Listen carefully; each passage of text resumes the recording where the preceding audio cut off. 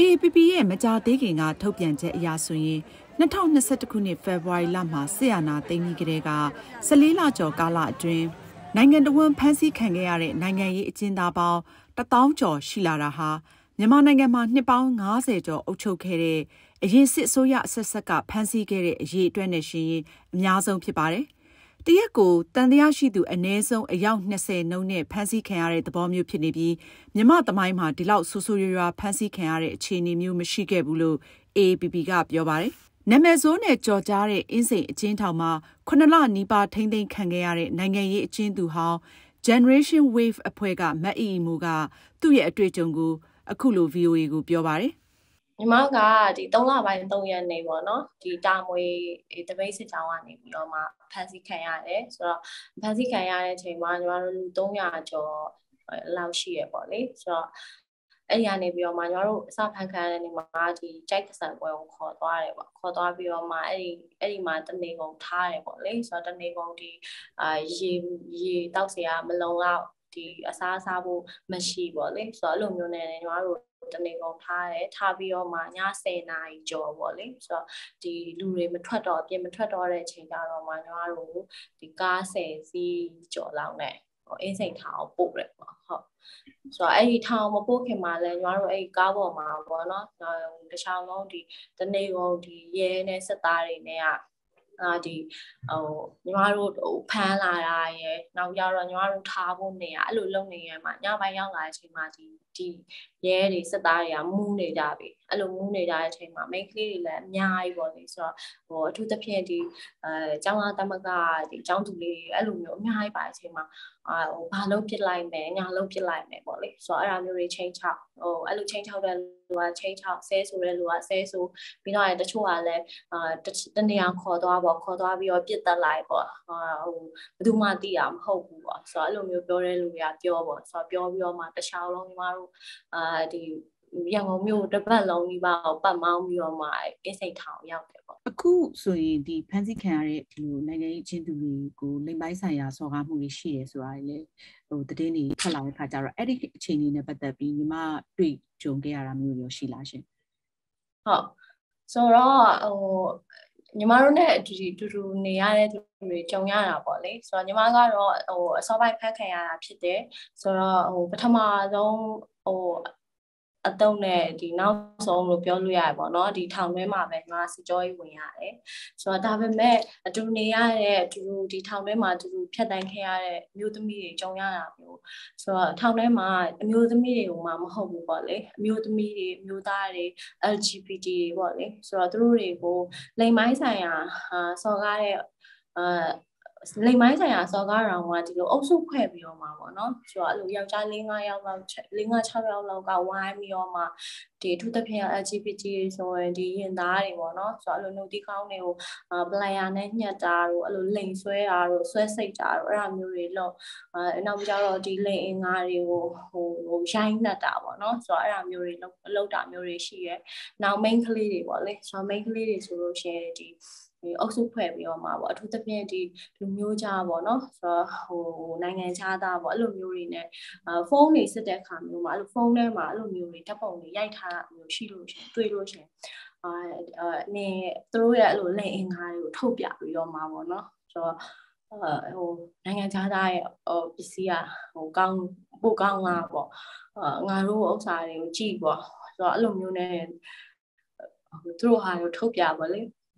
အစားလို့ထုတ်ပြရဲပြီးတော့လို့ရှင်အာအဲ့လိုလေးဘတ်ထောက်ကိုင်းမျိုးမှာဒီတင်မားတွေကိုအဲ့လိုနံပါတ်ထုတ်တွေနဲ့ရိုက်တာပေါ့ဆိုတော့အဲ့လိုရိုက်တယ်နောက်ဓာတ်ပုံတွေရိုက်တယ်အဲ့လိုရိုက်ပြီးတော့မှဒီသူတို့ချင်းချင်းပေါ့နော်ပြန်ပြန်ပြပြီးတော့မှအာထပ်ပြီးတော့မှပေါ့နော်ဟိုစော်ကားရပေါ့လေအာသာဖြေတာအဲ့ဒါမျိုးတွေရှိတယ် ဆိုတော့ဒါဟာစကြောရေးခန်းထဲမှာကြုံရတဲ့ဥစ္စာပေါ့လေဟာဆိုတော့ဒီစကြောရေးကိုခေါ်သွားတဲ့လမ်းတစ်လျှောက်မှာဆိုရင်လည်းတချို့ဆိုရင်မျက်လုံးကိုဝစ်စီးထားတယ်စီးထားပြီးတော့မှဟာဒီကားပေါ်ဆင်းတဲ့မျက်လုံးအဝစ်စီးထားတယ်စီးထားပြီးတော့မှအဲ့ဒီစကြောရေးနေရာကိုမရောက်ခင်ထိကိုအာဒီအရှိမဟို ဂျိုင်းရှိရကြော်ကြိုးရမ်းရှိရငုံပေါ့ဆိုတော့အဲ့လိုဘယ်ကွေညာကွေအဲ့လိုမျိုးနဲ့လောက်ခိုင်းပြီးတော့မှဒီခန္ဓာကိုယ်ထိမ့်ပြီးသလိုနဲ့အထူးသဖြင့်တော့မျိုးသမီးငယ်တွေပေါ့နော်ဆိုတော့အဲ့လိုမျိုးတွေကြုံရတာဆိုတော့ခန္ဓာကိုယ်ထိမ့်ပြီးသလိုနဲ့ဒီအဲခန္ဓာကိုယ်မှာရှိနေတဲ့အဲ့အစိတ်ပိုင်းတွေကိုထိပြီးတော့မှစော်ကားတာပေါ့လေဆိုတော့အဲ့လိုမျိုးတွေစပြီးတော့မှကြုံရတယ်စစ်ကြောရေးတစ်လျှောက်လဲအာဟို ဒီငရဲခန်းလို့ဖြတ်တန်းရတယ်ပေါ့လေဆိုတော့ပုံမှန်ဒီလိုမျိုးနှိပ်စက်တာတွေအပြင်ကိုဒီလိုလိမ်မိုင်းဆိုင်ရာကိုအုပ်စုဖွဲ့ပြီးတော့မှဆူဆူဝါဝါညှဉ်းပန်းနှိပ်စက်တာတွေအများကြီးပဲရှိတယ်အဲ့တော့အခုဒီ2021ဆက်အနာသိမ့်ပြီးနောက်ပိုင်းပေါ့နော်သူတို့စန့်ကျင်သူတွေကိုသူတို့အခုစုလိုက်ပြုံလိုက်ဖမ်းတဲ့ခါမှာအာမိခင်တွေလည်းပါတယ်ကလေးတွေလည်းပါတယ်ဆိုတာလည်းသိရတော့အခုညီမကိုယ်တိုင်တွေ့ခဲ့ရတဲ့အဲ့ထောင်ထဲမှာရောဒီမိခင်နဲ့အတူပါလာတဲ့ကလေးတွေပေါ့လေအဲ့ဒါရောအခြေအနေရောဘယ်လိုရှိလဲရှင် ဟုတ်အဲဆိုတော့အခုပေါ့လေဒီသတင်းတွေမှာတွေ့နေတွေ့နေကြမှာပါပေါ့လေဒီစီစီစီပင်ဝန်တန်းပေါ့လေ CDM လောက်တဲ့ဒီစီပင်ဝန်တန်းအဲဆိုတော့သူ့ကိုတော့ဖမ်းတဲ့အချိန်မှာမမိလို့ဒီ အမေရဲ့မိန်းမရဲ့ကလေးရဲ့ပေါ့လေဆိုတော့အသက်3နှစ်တောင်မပြည့်သေးတဲ့ကလေးလေးပေါ့လေဆိုတော့အဲ့ကလေးလေးကိုဖမ်းလာတယ်ဆိုတော့အဲ့ဖမ်းလာတဲ့အာနေ့မှာလည်းစဖမ်းပြီးစထောင်ရောက်တဲ့နေ့မှာလည်းညီမတို့အဆောင်ရောက်လာပေါ့လေဆိုတော့အဲ့ဒီနေ့မှာလည်းဒီဒီကလေးလေးကိုမြင်လိုက်ရတဲ့အချိန်မှာညီမတို့တွေကအဲ့လိုဘယ်သူမှမခံစားနိုင်အောင်ပေါ့နော်ဒေါသထွက်တဲ့လူကထွက်ဟာကလေးဒီလိုမျိုးကလေးကိုတော့ဖမ်းလာရက်ကလာပေါ့နော်ဆိုတော့ ဟိုအမေအမေကလေးကလည်းဒီလိုမျိုးလန့်ပြီးတော့ငိုပေါ့နော်ဟိုအဖွားလုပ်တဲ့လူကလည်းဟိုဟိုသမင်ဖူးရိုးဖားရနဲ့ငိုပြီးတော့မှဒီထောင်းကြီးလောက်ရောက်လာပေါ့လေဆိုတော့အဲ့တော့အခု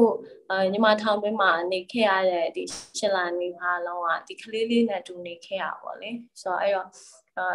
ဒီကလေးလေးနဲ့ပတ်သက်ပြီးတော့မှလည်းဟို ဟိုကြုံရတဲ့ဒီကလေးကလေးနဲ့ပတ်သက်တဲ့ဒီချိုးဖောက်ခံရတဲ့ဥစ္စာတွေဟိုအကုန်လုံးဟိုတီးရတယ်ဟိုခံစားရတယ်ပေါ့လေဆိုတော့အခုလက်ရှိထိလည်းမလွတ်မြောက်နိုင်သေးဘူးပေါ့လေဆိုတော့အဲ့ဒါအပြင်ကိုအာဒီဘိုက်ကြီးကိုဝင်တယ်တွေပေါ့နော်ဆိုတော့ကိုဝင်ဆောင်မျိုးသမီးတွေဟိုဖမ်းလာတာမျိုးတွေရှိရဲဒီထောင်းထဲမှာပဲမွေးဖွားတဲ့အမျိုးသမီးတွေလည်းရှိရဲ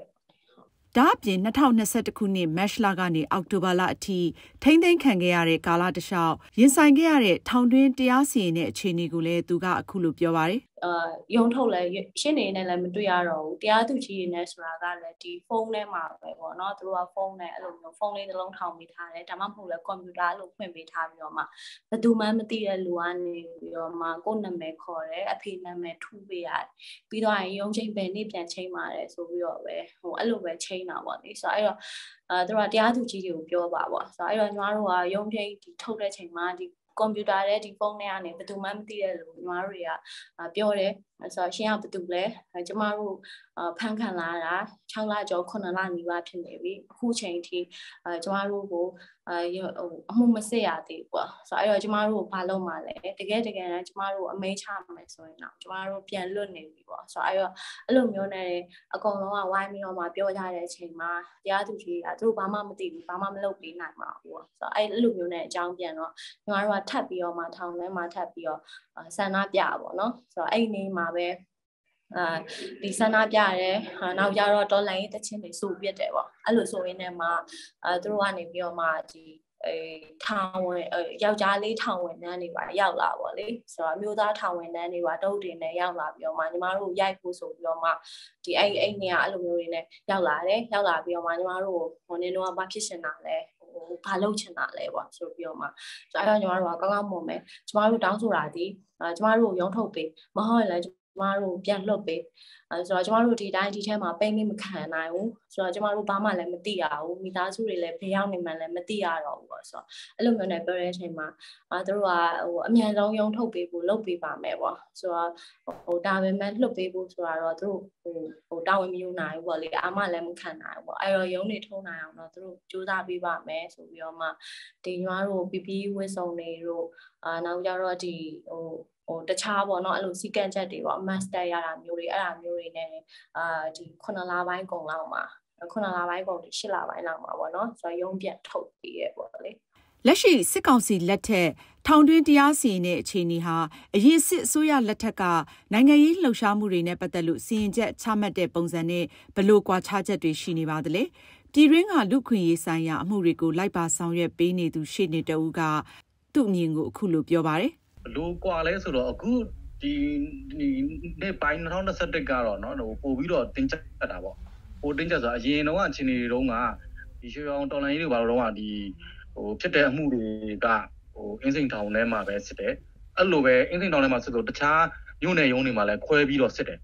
ဟောအဲတော့ကတော့ဒီလိုမျိုးဒီလုံခြုံရေးအခြေအနေသူစိုးရင်းစရာ တိတ်မရှိတဲ့ပုံစံမျိုးဆိုတော့အချို့မှုတွေအင်းစိန်တောင်ထဲမှာစစ်ပြီးတော့တချို့မှုတွေကဒီသက်ဆိုင်ရာမြို့နယ်တွေမှာစစ်တာတွေရှိတယ်။သို့တော့အခုဒီ